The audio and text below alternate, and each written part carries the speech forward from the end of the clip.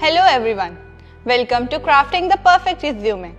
Today we are going to learn how to build a resume that stands out and gets you noticed by a potential employer.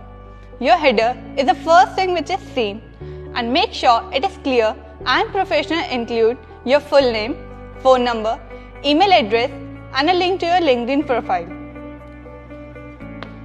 The objective or profile statement is your last chance to tell what you will bring to the table.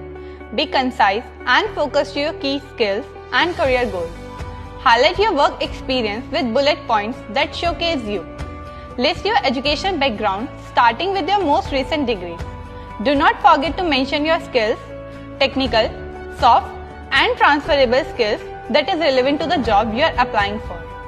If you have any awards or certification, this is a place to showcase them.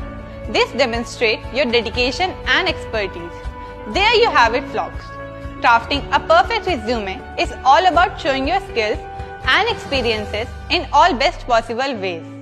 Remember to tailor your resume for job applications and proofreading it carefully. With a well-crafted resume, you will be a step closer to landing your dream job. For more, watch part 2.